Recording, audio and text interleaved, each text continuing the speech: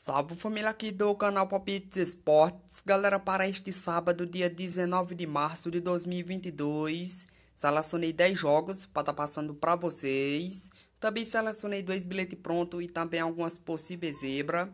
Também queria pedir para vocês deixarem muito like nesse vídeo, beleza?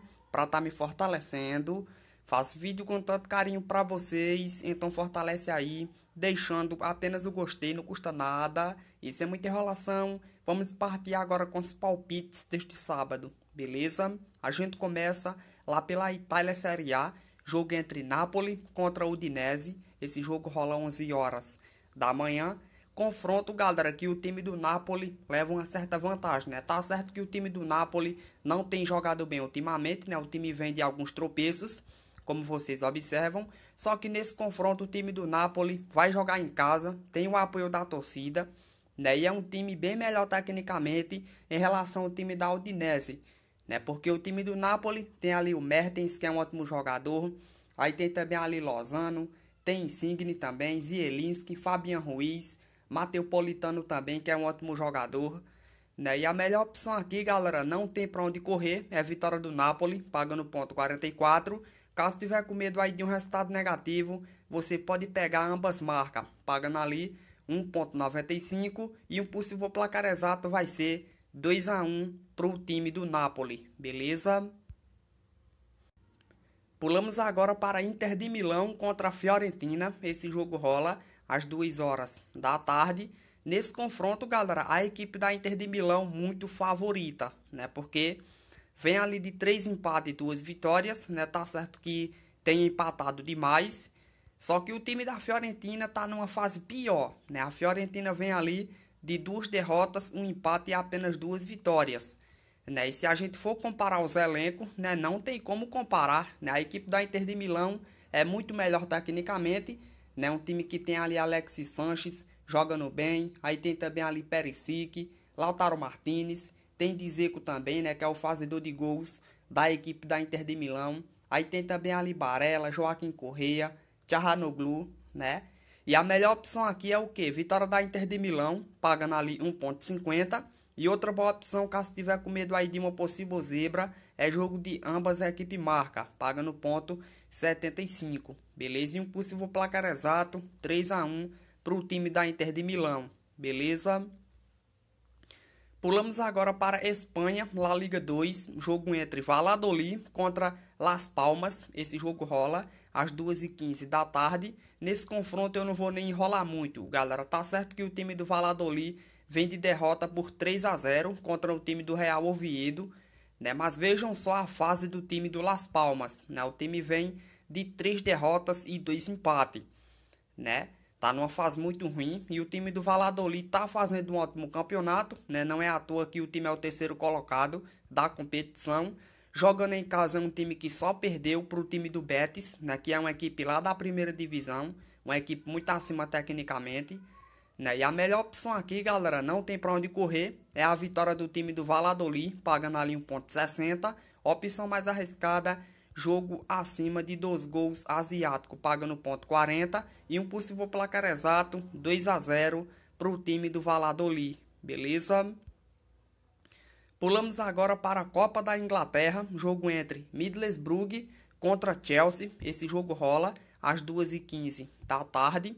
Lembrando que é quartas de finais e é jogo único, né? O time do Middlesbrough vai levar uma certa vantagem porque vai jogar em casa com o apoio da torcida, né? Mas o time do Chelsea, galera, é muito acima tecnicamente, né? Tá numa fase muito boa, né? O time do Chelsea vem ali de cinco vitórias consecutivas, como vocês observam, né? É um time que tem ali Lukaku jogando muito, aí tem também ali Ziyech, Pulisic, Mason Mount, Kanté, tem ali também Kai Havertz, né? Tem Saul também que entra ali no segundo tempo. E a melhor opção, galera, aqui não tem para onde correr não, é vitória do Chelsea, pagando ali 1.50. E outra boa opção, jogo abaixo de 2 gols e meio, pagando ali super bem, pagando 2.1. Beleza? E um possível placar exato, 2 a 0 para o time do Chelsea. Beleza? Pulamos agora para o Campeonato Paulista, jogo entre Santos contra Água Santa. Esse jogo rola às 4 horas da tarde. Confronto, galera, aqui vou me arriscar no time do Santos. Né? O time do Santos tá certo que vem tropeçando bastante, né? Mas nesse confronto o time joga na Vila Belmiro, que é o seu estádio, né? Vai poder contar com o apoio da torcida. É um time que tem melhores jogadores em relação ao time do Água Santa, né? O time do Santos tem ali Marcos Leonardo jogando bem, aí tem também ali Ricardo Goulart, tem também Diego Tardelli, Carlos Sanches, São Nocelo também jogando bem, Marcos Guilherme também, né?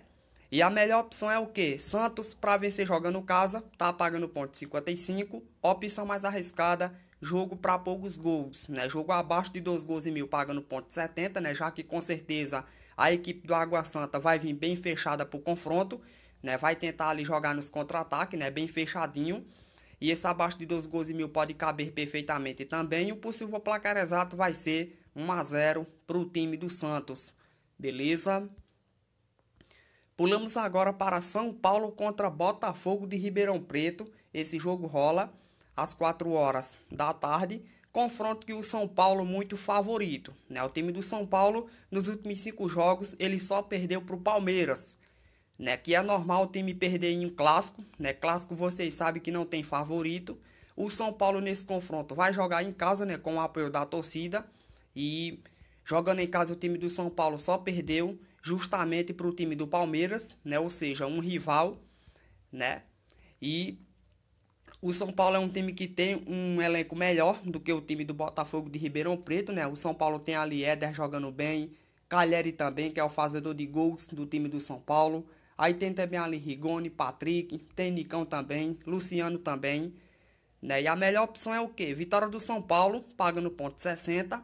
Outra boa opção jogo abaixo de 2 gols e meio, pagando ali 1.65. Né? O time do Botafogo com certeza vai vir retrancado para o confronto, né? Porque sabe que se vir para cima do São Paulo vai tomar um sacode, né? Então esse abaixo de 2 gols e meio pode caber perfeitamente também. O possível placar exato 2 a 0 para o time do São Paulo. Beleza? Pulamos agora para o Campeonato Paranaense, jogo entre Coritiba contra Cianorte. Esse jogo rola às 4 horas da tarde. Lembrando que é o jogo da volta, né? O jogo daí do time do Cianorte jogou em casa e acabou perdendo para o Coritiba por 1 a 0. Né? Agora é o jogo da volta. O time do Coritiba vai fazer esse confronto em seu estádio né, para tentar aumentar ainda mais essa vantagem que construiu no jogo da ida. E se o Coritiba foi o favorito no jogo da ida, galera, vai ser o favorito novamente nesse jogo da volta, né? Porque o Coritiba tá numa fase muito boa, como vocês observam, jogando em casa também é um time que dificilmente perde, né? Os últimos cinco jogos do Coritiba em casa ele tem três vitórias e dois empates. E o elenco do Coritiba, galera, tá muito interessante, viu? Tem muitos jogadores bons atuando lá no time do Coritiba. Por exemplo, tem lá Igor Paixão jogando muito. Aí tem também ali, né, Hilton, Aleph Manga. Tem também ali Léo Gamalho, né, que é o fazedor de gols do time do Coritiba. Aí tem também ali Matheus Salles, Tony Anderson, né, que jogou um tempo atrás no Atlético Paranaense. É um ótimo jogador. Tem Robinho, né, que é o experiente do time. Tem Rafinha também. E a melhor opção, galera, vai ser o que? Vitória do Coritiba, pagando ali 1.53. Outra boa opção jogo acima de um gol e meio, pagando ali 1.56. Né? Já que o time do Cianorte não tem mais nada a perder, vai vir para cima do Coritiba, né, para tentar reverter o resultado e pode tomar aí uma sapecada, viu? Então esse acima de um gol e meio pode caber perfeitamente também. O possível placar exato 3 a 0 para o Coritiba, beleza? Pulamos agora para Itália Série A. Esse jogo rola um pouco mais tarde. Confronto entre Cagliari contra Milan. Esse jogo rola às 4h45 da tarde. Confronto, galera, que a gente não tem nem o que discutir. Né? O time do Milan tá brigando na parte de cima da tabela. Né? O time é o líder do campeonato, como vocês observam. Né? É um time que vem numa fase boa. Né? O, o time do Milan vem ali de três empates e duas vitórias consecutivas. É um time que tem um melhor elenco. Né? O time do Milan tem ali Rebic, que é um ótimo jogador. Aí tem também ali Júnior Messias, Rafael Leão. Tem também ali Ibrahimovic. Aí tem também ali Castilejo, Brian Dias, né, que joga muito também. Sali Marquês, que joga bem também. E a melhor opção aqui, galera, vai ser o que? Vitória do Mila, pagando ponto 60. Opção mais arriscada, jogo de ambas a equipe marca, pagando ponto 95 e um possível placar exato 2 a 0, 2 a 1 para o time do Cagliari, né? Eu ia falar 2 a 0, galera. Perdão aí, viu? A gente vai pular agora para Espanha La Liga. Esse jogo rola às 5 horas da tarde, né? Confronto entre Raio Valecano contra Atlético de Madrid. Nesse confronto, galera, o time do Atlético de Madrid não vai poder contar ali com Carrasco, Matheus Cunha e o Thomas Lemar, né? Três desfalques importantíssimos, porém, de todo jeito, o time do Atlético de Madrid vai continuar sendo o favorito porque é um time melhor tecnicamente. Né? O time vai poder contar ali com Luiz Soares, João Félix, aí tem também ali Grisma, Rodrigo Depou, Coque, né? Tem Marcos Llorente também, Condobiá né, que joga muito também. Aí tem também ali Angel Correia, né? E o Atlético de Madrid, galera, tá vivendo uma fase muito boa, né? O time vem de um empate e quatro vitórias seguidas. Agora vejam a situação do Raio Valecano, né? O time vem de três derrotas e dois empates, né? Tá numa fase muito ruim. E na classificação, o Atlético de Madrid tá ali na parte de cima da tabela, né? O time é o quarto colocado. E por conta disso, a melhor opção aqui vai ser o quê? Atlético de Madrid para vencer fora, mas eu vou me assegurar no empate anula, né? Já que o time do Atlético de Madrid vai jogar fora de casa, né? Então assegurar aí nesse empate anula, pagando ponto 43. E a opção mais arriscada, ambas marcas, né? Pagando bem, pagando 2. E um possível placar exato, 2 a 1 para o Atlético de Madrid, beleza? Para finalizar agora, lá no Campeonato Paranaense, esse jogo rola um pouco mais tarde, né? Confronto entre Operário contra São Joséense. Esse jogo rola às 6h30. No jogo da ida, o time do São Joséense jogou em casa né, e acabou vencendo o time do Operário por 2 a 1 né, Agora é o jogo da volta, o time do Operário é quem vai fazer esse confronto em casa, né, com o apoio da torcida, para tentar reverter o resultado. E eu acredito, galera, na vitória do Operário, né, porque o Operário jogando em casa é muito forte, né, como vocês observam aí, os últimos cinco jogos dele em casa ele tem três vitórias e dois empates. Né? O time do São Joséense fora de casa ele só conseguiu vencer apenas um jogo. Né? De cinco jogos que ele disputou fora de casa ele conseguiu vencer apenas um.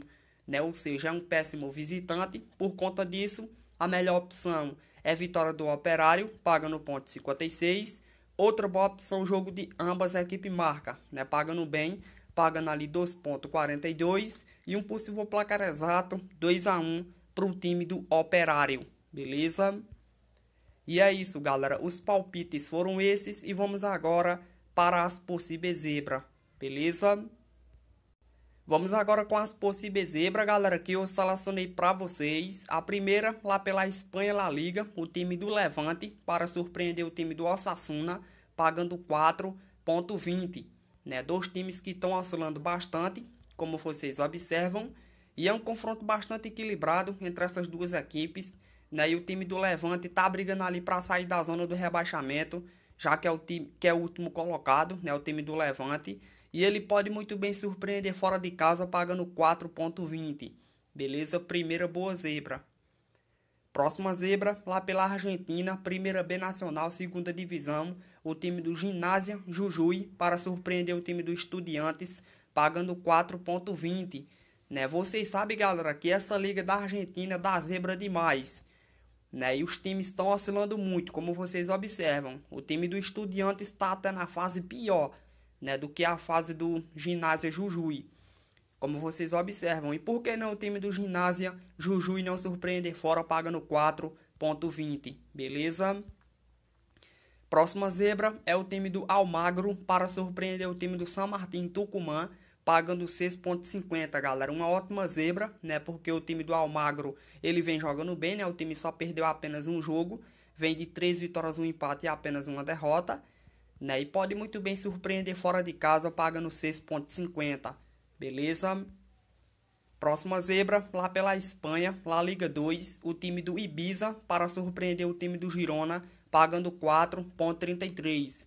Uma ótima zebra, galera, porque o time do Ibiza, ele só perdeu apenas um jogo, né, dos últimos cinco jogos que fez. Ele vem da mesma forma que o time do Girona, né, como vocês observam. E é um confronto muito equilibrado entre essas duas equipes, Né? O time do Ibiza tá liberando o G6, né? querendo ali encostar. E pode muito bem surpreender fora de casa, pagando 4.33, beleza? Última zebra, lá pela França, Liga 2, o time do Nimes para surpreender o time do Ajácio, pagando 4.50. Né? Aqui é mais uma liga que costuma dar muita zebra, galera. Essa França Liga 2 aí é quase que nem a Série B. Né? Que nem o Brasileirão Série B, dá zebra demais. Né? E como o time do Nimes ele não tem jogado tão mal, ele pode muito bem surpreender fora de casa, pagando 4.75, né? Até porque estão brigando na parte de cima da tabela, né? O time do Nimes está beirando ali o G5, como vocês observam. E o Nimes pode sim surpreender pagando 4.75, beleza? E um aviso muito importante, família, não vão investir alto nessa zebra porque o índice de acerto é muito baixo, beleza? E é isso, as zebras foram essas e vamos agora para os bilhetes pronto, beleza? Primeiro bilhete pronto, galera, que eu selecionei para vocês foi essa ótima tripla, que tem aí o time da Inter de Milão para vencer casa, paga no ponto 50. O time do Napoli para vencer casa paga no ponto 44 e o time do Chelsea para vencer fora paga no ponto 50. Beleza? Uma ótima tripla para você fazer o seu investimento com o seu valor desejado neste sábado. Beleza? E é isso, galera. O primeiro bilhete pronto foi esse e vamos agora para o segundo e último bilhete pronto. Beleza? Segundo e último bilhete pronto, galera, que eu selecionei para vocês foi mais uma tripla. Que tem aí o time do São Paulo para vencer casa, paga no ponto 60. O time do Milan para vencer fora, paga no ponto 60. E o time do Santos para vencer casa, paga no ponto 55. Beleza? Uma ótima tripla para você fazer o seu investimento com o seu valor desejado neste sábado. Beleza? E um aviso muito importante, família se caso vocês não estiverem confiantes em nenhum desses palpites que eu estou passando aqui, é muito simples, é só vocês não investirem, beleza? E é isso, galera. O vídeo de hoje foi esse. Espero que vocês tenham gostado.